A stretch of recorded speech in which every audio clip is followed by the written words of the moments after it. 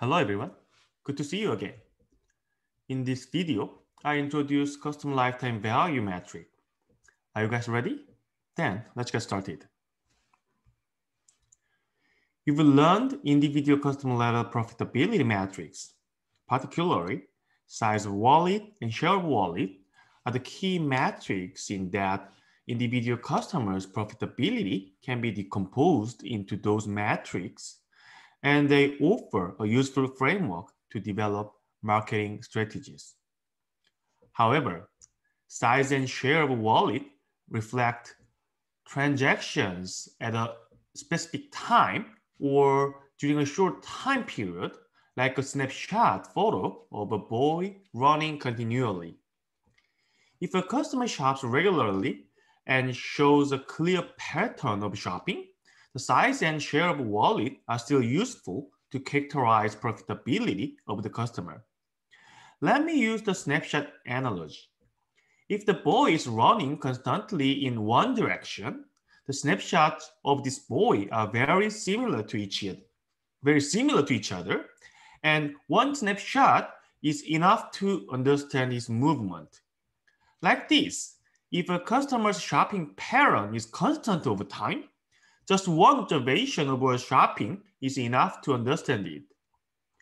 But it is not always guaranteed that consumers shop regularly. David, in the example for the size and share of wallet, spends only $1,000 per month for his grocery shopping, but we don't know what will happen in the future. It is possible that he increases or decreases his size of wallet in the future. Also, customers may switch brands in the future, meaning that the share of wallet can be changed. In addition, customers may become dormant and come back again. All of these cases are like a boy running in random directions.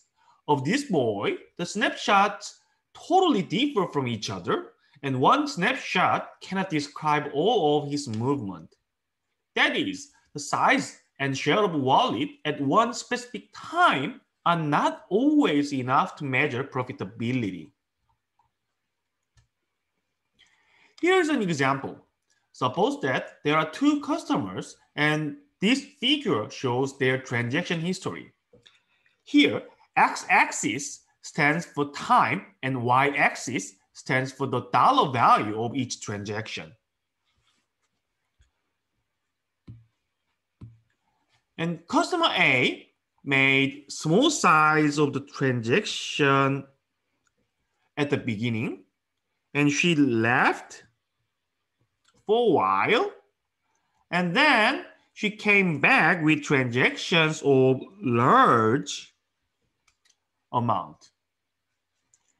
And customer B also shows a change in her transaction pattern. It seems to me that she just missed shopping a couple of times here and here.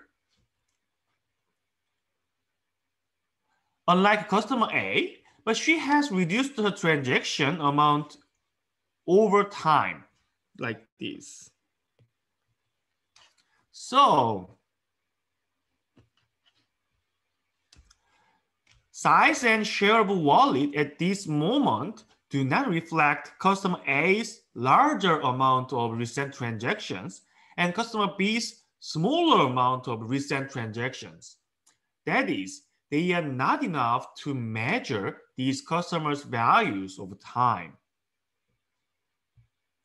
Then, how to measure the customer value or profitability that fluctuates over time. Now I'm going to introduce customer lifetime value metric, which is very popular in practice to measure the fluctuating value. To understand this metric, the first thing you have to know is the present value concept which is generally used to account for the value of time. Let me start with an example. Suppose that there are four friends, Alice, Emma, Isabella, and Olivia. Each of them is expected to spend $5,000 in total during the next five years. But the amount of spending in each year varies across these guys as follows. Alice is expected to spend $1,000 equally in each year. Emma is expected to spend all $5,000 in the first year, whereas Isabella is expected to spend all in the last year. Olivia is expected to increase her spending by $500 over the years. Question is, who is the most valuable customer for the five years? How do you think? Alice, Emma, Isabella, or Olivia, or Ty, because they all will spend the same amount of money for the years. Answering this question may not be simple. Then, how about this? This is much simpler. All right. Here are two gift options, and you can choose either of them. One is receiving $1,000 today, and the other is receiving $1,000 next year. Out of these two options, which one do you prefer? I, I am 99% sure that all of you choose the first option, receiving the money today instead of the next year. Why? The amount of money is the same, but when you choose the second option, you have to wait a year. Then let's decrease the amount for the today option. How about $950? How about $900? How about $850? And what is the amount of money for the today option which makes you feel both options equivalent to each other? Maybe still not simple. So one more assumption we need. Suppose that you are a really, really, really good investor and you expect 10% rate of return from your investment. That is, if you receive $900 today and invest it for a year, you will have $900 times 1.1, which equals $990 next year. In this case, you'd better to take $1,000 next year, right? But if but if you receive $910 today and invest it for a year, you will have, in the same manner, 1,000 plus 1 next year. It flips over your choice. You'd better to take $910 right away instead of take $1,000 next year. So we may find the equilibrium using the following formula. At the equilibrium, your investment of the money received today, which equals the amount of money received times 1.1 makes $1,000 next year. With the simple math, the amount is given by $1,000 divided by 1.1, which equals $909.09. Oh, yeah, 909 and 9 cents dollars. That is, with the 10% of rate of return, receiving $1,000 next year is equivalent to receiving 900 and nine and nine cents dollars today. And this value, 909 and nine cent dollar is called the present value, present value, and in short, PV of receiving $1,000 next year. The rate of return is usually called discount factor because it is the rate of discounting the value of future money. with a small discount factor, the value of the future money becomes higher. For example, the present value of receiving $1,000 next year becomes about $950 with a 5% discount factor, and it is about $990 with 1% discount factor. The present value denotes the point at which you at which you change your choice. If you receive less than the present value, then you'd better to receive $1,000 next year. But if you receive more than the present value, taking the money right away is the better option. Then, what will happen if you receive the money two years later instead of the next year for the second option? We can compute the equilibrium in the same manner. For example, when you receive $800 today and invest it for the next two years, you expect about $800 times 1.1 and times 1.1 again, which equals $968. This is less than $1,000, so you'd better to choose the second option. And we have the following formula at the equilibrium in the same manner. At the equilibrium, your investment of the money received today, which equals the amount of money received times 1.1 and times 1.1 again makes $1,000 next year. With the simple math, the equilibrium value is about $826.45. So if, if you receive less than this amount today, you'd better to receive $1,000 two years later. Just take the second option. But if you receive more than this amount today, you'd better to take the money right away. The present value concept allows us to compare the value of money between different time points. And we can apply this concept to the example at the beginning. We have four people here, Alice, Emma, Isabella, and Olivia. And the cash flows from those people for the next five years. And the strategy is as follows.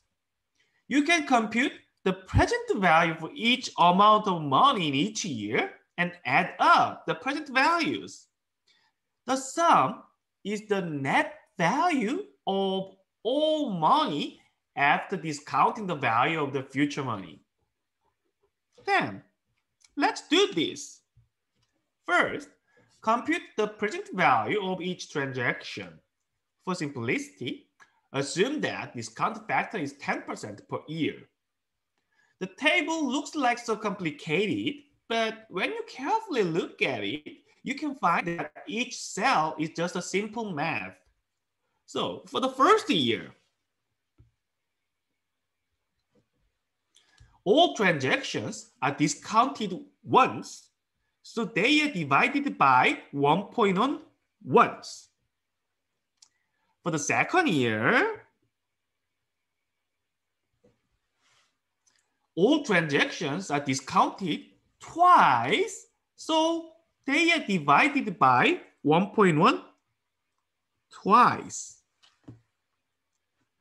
Doing the same thing for the rest of the years, dividing by 1.1 three times for the third year, four times for the fourth year, and five times for the fifth year, you have the present value of each transaction.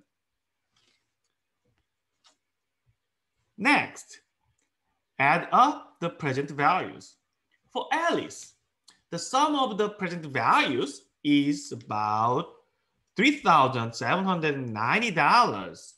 This is called the, called the net present value. In short, NPV, of her transactions expected for the next five years.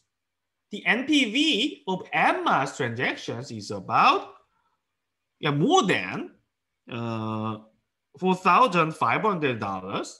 And for Emma, the NPV is relatively so low, about 3,100. And for Olivia, the NP, NPV is about 3,400. So in sum, Emma is the most valuable, followed by Alice and Olivia, and Isabella is the least valuable, even though all of them are expected to spend the same face value of money for the years. And why? Because of the, of the value of time. The later the money expected, the more the value discounted. Emma is expected to spend all of $5,000 sooner. So she is the most valuable, but Isabella is expected to spend all of it later. So she is the least valuable. This strategy using the present value concept also can be applied to past transactions. Consider, con consider you received $1,000 last year. Then how much is that money worth today? Still, using the same discount factor, 10%, you will get 100 more from the investment. So the money you received is worth $1,100 now. If you received $1,000 two years ago, in the same manner, it is worth $1,000 and $210, which equals multiplying $1,000 by 1.1 twice. Then let's apply this strategy to Alice's past transactions as follows. She spent $800, $700, and $900 three years, two years, and one year ago, respectively. She also spent $1,000 this year. And suppose that the same discount factor, 10% per year. First, compute the present value of each transaction. It is simply given by a multiplication by a rate. For the money spent three years ago, the present value of it is equivalent to the value of investing it for the three years, right? So this is the formula to compute the present value, which is 1,064 and 80 cents dollars. In the same manner, the PV or the present value of the money spent two years ago is about $850. And that for the last year is about, no, not about, exactly $990. For this year, we don't need to compute because this $1,000, this face value itself is the present value. Second, add up the present values. Then the sum is about $3,900, which is the net present value of Alice's past, all past transactions. So far, I have introduced the present value concept. It enables us to evaluate an amount of money at any moment in current dollar value. This value is adjusted to account for the value of time.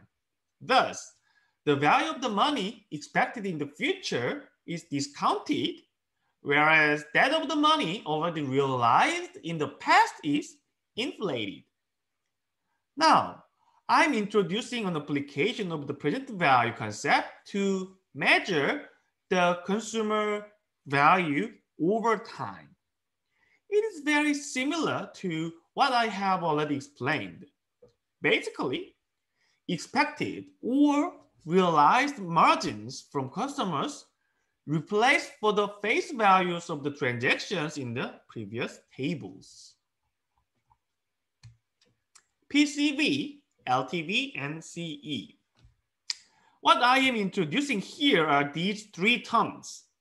Past customer value, in short, PCV, lifetime value, in short, LTV, and customer equity, in short, CE. Sometimes LTV is also referred to as CLV, which stands for customer lifetime value. Both terms are widely used and exchangeable to each other. In this lecture, I'm using LTV instead of CLV following our textbook. Conceptually, PCV and LTV are the net present value of past contributions and expected contributions respectively. First, let's start with PCV. The mathematical expression of the PCV of a customer is this. Uh-oh. So terrible and so complicated. It looks so complicated, so, so complicated. Yes, I agree. It is very, very complicated. But conceptually, it is the same as the net present value computation. Let me point out two components in this equation. This GC and delta. GC is gross contribution, which denotes the realized profit from a customer, and delta denotes the discount factor.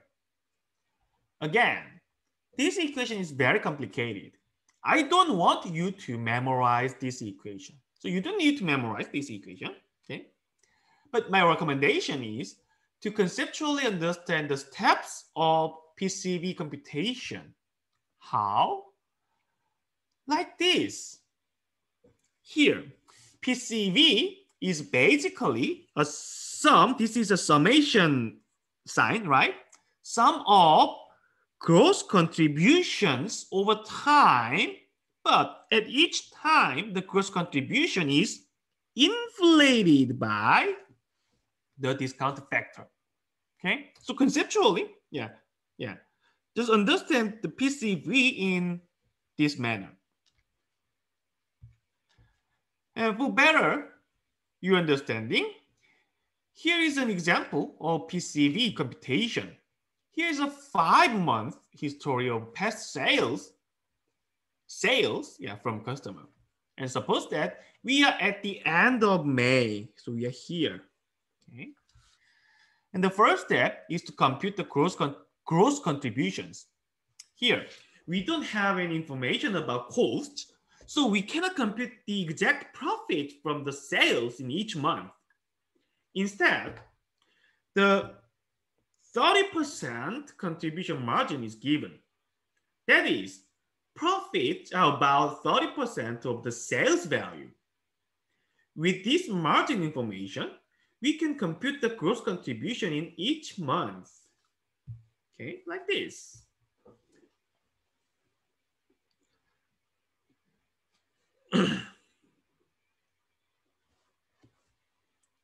and the second step is to compute the present value of each gross contribution. This is a monthly history, so we need a monthly discount factor. Here, the 1.25% per month is given as the monthly discount factor. With this discount factor, we can compute the present value of each gross contribution like this. So this is the, yeah, computed the gross contribution and we just need to inflate it by the one plus the discount factor four times for, for the sales uh, realized four months ago and three times the sales realized uh, three months ago and two for the sales realized two months ago and just once just for the sales just yeah last month and for the May yeah we are here so the the face value itself is the yeah current value the present value Then the last step is to compute the NPV, which is just the sum of the present values. This NPV is the past customer value. This is the past customer value, PCV, which is what we want to get. So the computation of PCV is exactly same as the previous example of computing NPV of net present value of past transactions. Transactions, transaction values are replaced with just gross contributions, and that's it. Now, let's move on to lifetime value. Again, mathematically, LTV is expressed in this complicated equation. You don't need to memorize all of this formula. It's just wasting of time. Rather, just try to conceptually understand the equation as follows. LTV is equal to a sum of gross contributions over time. But those contributions are expected in the future, so they are discounted by the discount factor before summation. And this is the Bayesian model of LTV, Bayesian model of lifetime value. In practice, managers usually take into account two more components, acquisition costs and retention or survival rate. To acquire a customer, there always were cost.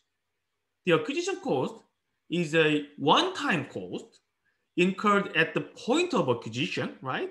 And differs from direct costs and marketing costs to serve the serve the customer and make sales.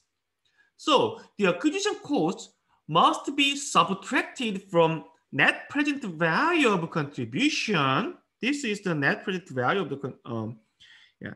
This part is the net present of the contribution. Okay. So the acquisition cost must be subtracted from the NPV to get the exact lifetime value.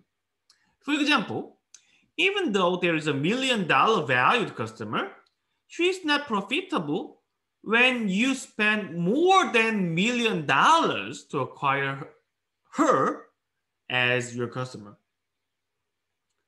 Also, some customers will leave. More precisely, all customers will leave.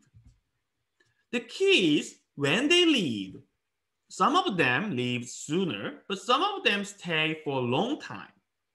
This implies the future contribution is probabilistic, not for sure. We don't know. We don't know what will happen. So we already have a good metric for this probability, the survival rate. Survival rate denotes the probability of still staying as an active customer. So here, this SR is the survival rate. By multiplying the gross contribution by the survival rate, we can account for the probabilistic, na uh, probabilistic nature of the future contributions. For example, suppose that there is a customer who is expected to generate $1,000 of profits in the next year. But the $1,000 expectation is valid only if she will stay next year for sure. If she will leave next year for sure, it is reasonable to expect nothing rather than $1,000, right? But if she will stay next year at a 90% probability, our expectation should be discounted to account for the 10% risk of losing her next year. And this leads to $1,000 times 90%, which is equal to $900. And here is AC. Please note that the acquisition costs are subtracted after computing the NPV, again, the NPV of the gross contributions. The reason is that LTV is generally computed in dollar value at the moment of acquisition. Okay, so the as of the moment of acquisition, the current value, huh? the current time is that moment. And LTV is basically computed in the dollar value at that time. So the face value of acquisition cost itself is the present value. So we don't need to discount or we don't need to inflate the acquisition cost. Unlike PCV, all of the components in calculation are expected values, right? So except the acquisition cost. So except the acquisition cost, all of the components are expected values here in LTV. So we don't exactly know the survival rates in the future, gross contributions in the future, and the discount factor in the future. So to determine those values, we have to rely on other information sources such as market reports, public statistics, and internal analysis reports. But the information sources are not always available. And even though they are available, it is still very hard to correctly predict the fluctuations of the survival rate and the gross contributions. So in practice, it is usually assumed that the retention rate and the gross contribution is constant over time in LTV calculation. Then the survival rate becomes a power of retention rate with the exponent t, and here t indicates the time that has passed since acquisition. And in, in addition, LTV is usually computed over the in, infinite time horizon meaning that the entire lifetime is considered.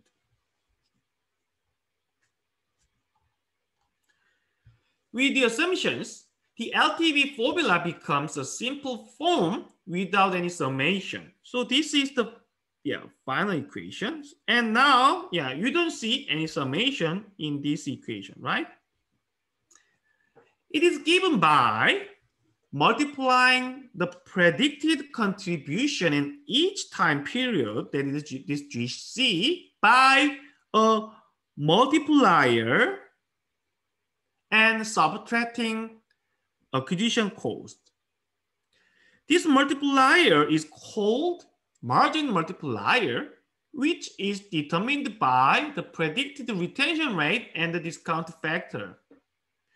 And this form is the popular definition of LTV in practice. You may find exactly the same formula in Blue Apron case study. This formula is simple, right? And relatively simple, yeah, than the original LTV equation, but provides us with a lot of intuitive marketing implications because LTV is a metric to measure profitability. So enhancing LTV implies improving profitability. Then, when does LTV become high? First, the more the gross contribution, the higher the LTV. This is very, very straightforward because the gross contribution is the just amount of profit. So the more profit and the higher the LTV, right? And second, the higher the retention rate, the higher the LTV. A high retention rate means there is a high chance to keep customers, right? So yeah, we can expect high lifetime value. Third, the lower the acquisition cost, the higher the LTV.